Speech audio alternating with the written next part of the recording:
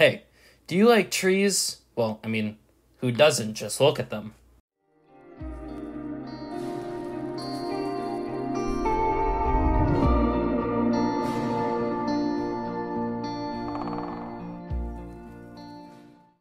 Well, the trees need your help.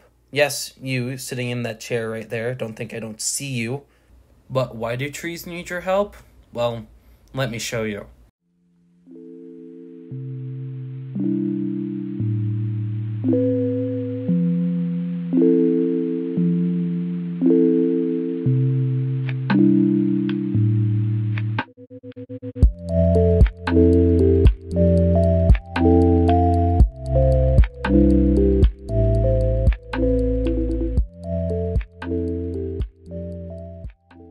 What you just watched was billions of trees get chopped down either for agricultural purposes or to mine for oil.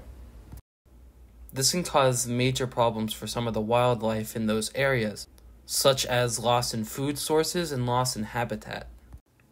Now, you're probably wondering, what can I do to save trees? Well, I'm glad you asked.